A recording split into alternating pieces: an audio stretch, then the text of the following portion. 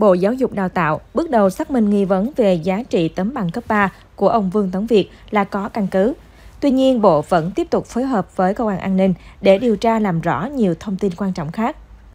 Ông Vương Tấn Việt thời gian qua gây xôn xao khi bảo vệ thành công luận án tiến sĩ tại Đại học Luật Hà Nội với khoảng thời gian 2 năm 3 tháng, trong khi chưa có bằng cấp 3.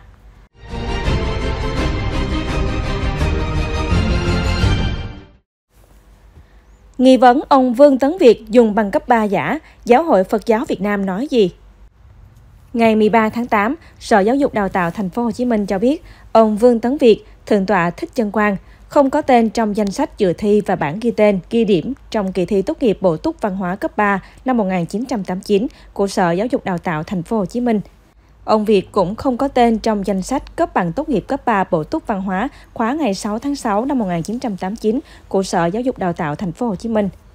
Liên quan đến vấn đề này, ngày 14 tháng 8, Hòa thượng Thích Gia Quang, trưởng ban thông tin truyền thông kiêm Phó Chủ tịch Hội đồng trị sự Trung ương Giáo hội Phật giáo Việt Nam cho biết, việc nghi vấn ông Vương Tấn Việt, tức Thượng tọa Thích Chân Quang, dùng bằng cấp 3 giả liên quan đến vấn đề giáo dục. Việc học thêm hay bằng cấp ngoài trung cấp Phật học là do nhu cầu mỗi người. Hiến chương Giáo hội Phật giáo Việt Nam không đề cập bắt buộc. Việc này thuộc về mảng giáo dục do Bộ Giáo dục Đào tạo làm việc. Phía giáo hội không nắm được. Hòa thượng Thích Gia Quang nói và không chia sẻ gì thêm. Theo Hiến chương Giáo hội Phật giáo Việt Nam quy định, bằng cấp duy nhất yêu cầu đối với nhà sư là trung cấp Phật học, được sử dụng để bổ nhiệm chủ trì chùa. Các cấp bậc trong Phật giáo như Đại Đức, Thần Tọa, Hòa Thượng là những tôn xưng do người khác nêu lên để tỏ sự kính trọng đối với vị tu sĩ Phật giáo trí tuệ, đức độ.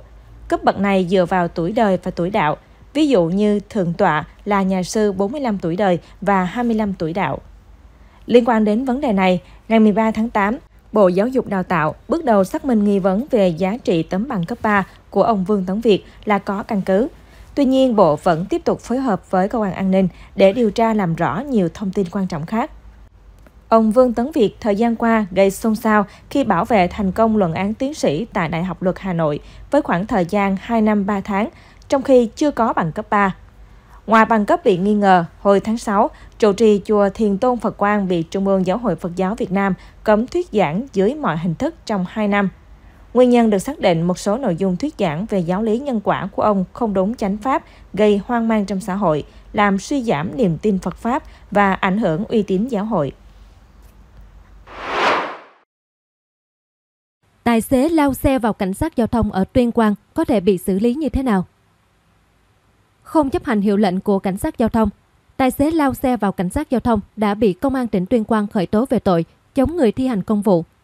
Luật sư Hoàng Anh Sơn, đoàn luật sư thành phố Hồ Chí Minh đã phân tích dưới góc độ pháp lý về vụ việc này. Ngày 13 tháng 8, cơ quan cảnh sát điều tra công an huyện Sơn Dương, tỉnh Tuyên Quang đã ra quyết định khởi tố vụ án, khởi tố bị can và thi hành lệnh bắt để tạm giam đối với Hoàng Đình Đức, sinh năm 1982, về tội chống người thi hành công vụ. Trước đó khoảng 10 giờ 30 ngày 13 tháng 8 2024, tại quốc lộ 37, đoạn qua tổ dân phố cơ quan, thị trấn Sơn Dương, huyện Sơn Dương. Tổ công tác đội cảnh sát giao thông, trật tự công an huyện phát hiện xe ô tô kéo theo rơ móc di chuyển theo hướng Thái Nguyên đi thành phố Tuyên Quang đang dừng, đổ không đúng quy định. Tổ công tác yêu cầu lái xe xuất trình giấy tờ để kiểm tra và thông báo sơ bộ lỗi vi phạm. Tuy nhiên lái xe không chấp hành mà lên xe, nổ máy cho xe di chuyển.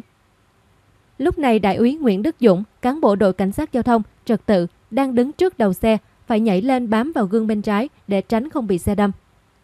Mặc dù đại úy Dũng liên tục dùng gậy ra tín hiệu yêu cầu dừng xe lại, nhưng lái xe không chấp hành, tiếp tục điều khiển cho xe ô tô di chuyển khoảng 1,5 km.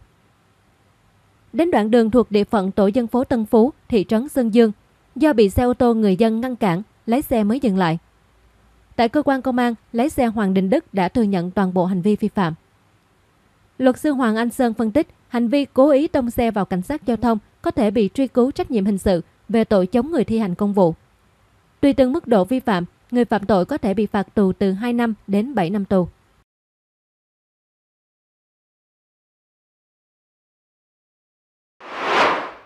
Cộng đồng mạng phẫn nộ, thanh niên sút vào đầu bạn gái như sút bóng, biết lý do đa số quay xe. Ngày 13 tháng 8 vừa qua, khắp các trang mạng xã hội được sử dụng phổ biến ở Việt Nam lan tràn đoạn video một thanh niên tác động bạn gái dã man Trước sự chứng kiến của đám đông người xem, khiến ai này cũng đều phẫn nộ, thanh niên và thương thay cho cô gái quen nhầm bạn trai Vũ Phu. Cụ thể đoạn clip gây sốc khi nam thanh niên đeo mắt kính có thái độ cực kỳ hung hăng. Anh ta sau khi đẩy ngã cô bạn gái thì càng thêm lạnh nhạt, thẳng chân đá thẳng vào đầu bạn gái của mình. Cô đã khiến người xem choáng váng, không nghĩ người bạn trai lại cạn tình, cản nghĩa, tác động vật lý bạn gái không khác gì kẻ thù như thế. Điều đáng nói là mặc dù có rất nhiều người đứng vây xem và dù cũng cảm thấy sốt ruột, sợ rằng sẽ có án mạng xảy ra. Tuy nhiên, không ai thực sự dám đứng ra căn ngăn nam thanh niên dừng đánh bạn gái.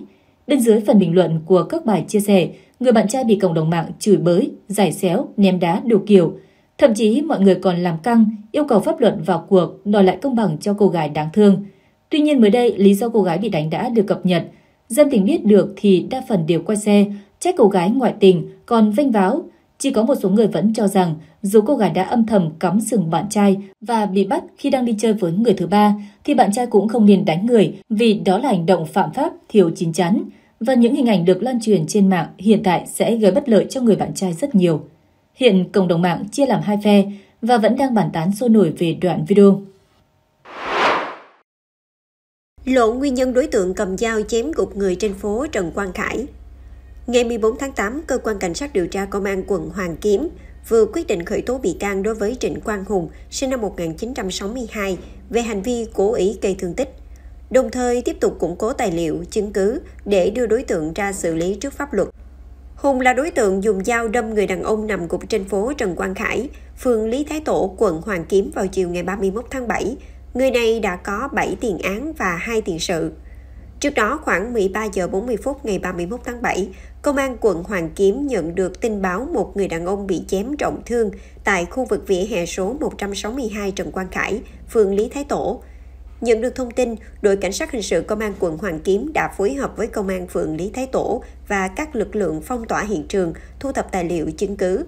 Các chiến sĩ công an đã nhanh chóng đưa nạn nhân đi cấp cứu.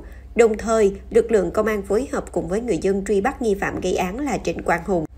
Bước đầu, Công an quận Hoàng Kiếm xác định khoảng 13 giờ 30 phút ngày 31 tháng 7, sau khi uống rượu tại khu vực chợ Long Biên, Trịnh Quang Hùng điều khiển xe máy Yamaha đến cửa hàng bán thịt chó của bà Nguyễn Thu Nhi tại dốc Hàm Tử Quang, phường Chương Dương, quận Hoàng Kiếm. Tại đây Hùng cầm dao và duỗi mài dao, đồng thời luôn mồm chửi, đe dọa mọi người xung quanh. Lúc này, ông Lê Văn Bình sinh năm 1969 đang ngồi gần đó nghe thấy vậy, liền đến nói chuyện và dẫn đến hai bên cãi nhau. Không làm chủ được bản thân, Hùng cầm dao chém ông Bình nằm gục trên vỉa hè phố Trần Quang Khải, sau đó cầm hung khí bỏ chạy. Tuy nhiên, lực lượng công an đã nhanh chóng truy đuổi bắt giữ đối tượng.